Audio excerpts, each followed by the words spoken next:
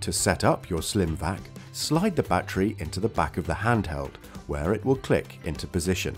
Push the handheld down onto the reach wand until you hear it click into place. Line up the connector on the reach wand with the powered head, pushing the wand down onto the head until you also hear it click. Use both screws and wall plugs to secure the wall bracket to the wall and place covers over the screws. Press the vacuum handle into the wall bracket to secure. The tools and the accessory bag can also be neatly stored on the wall bracket. To charge your SlimVac, lie the handheld on its side. Insert the charger lead into the inlet on the back of the handle and plug into the mains. You can also charge the machine whilst attached to the wall mount, as long as the wall mount is located by a wall charger.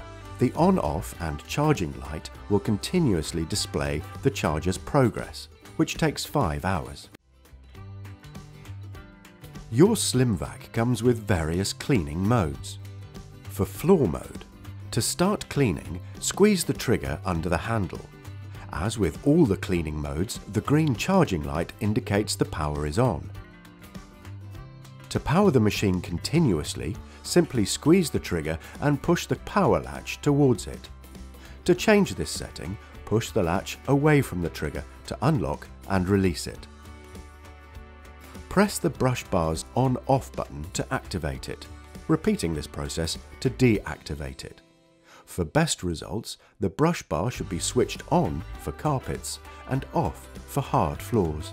For reach mode, press the powered head accessory release clip and pull to remove the powered head from the reach wand. Choose an accessory and push it into the reach wand until it clicks into place. The reach wand is ideal for hard to reach areas and for cleaning different areas up high and down low. For handheld mode, press the handheld release clip. Pull to separate the handheld from the reach wand. As with the reach mode, choose an accessory, pushing it into the handheld until it clicks into place. All of the accessories, including the powered head, can be attached directly onto the handheld.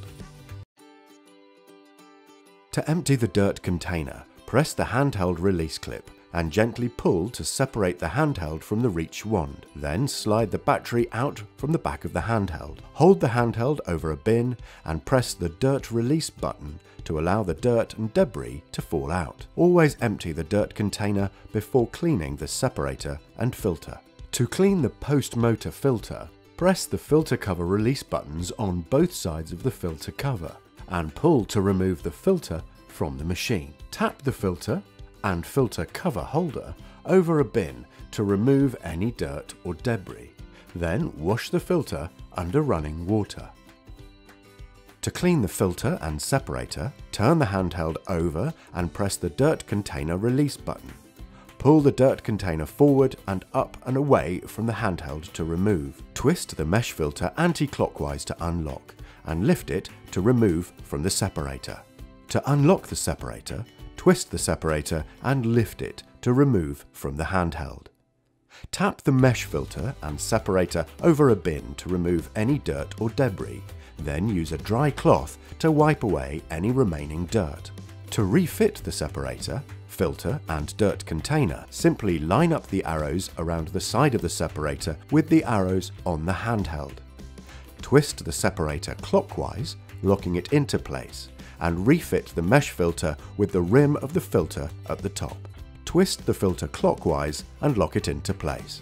Gently tilt the dirt container forward and line up onto the handheld. When the dirt container is seated on the handheld, push it backwards to lock into place. To clean the brush bar, simply slide to release it. The cover can't be removed. Lift to remove the left side of the brush bar first. Then clear any threads or hair from both ends of the brush bar, as well as any dirt or debris inside the housing of the powered head. When refitting the brush bar, fit the right side into the housing first, then line it up and slot the left side into place.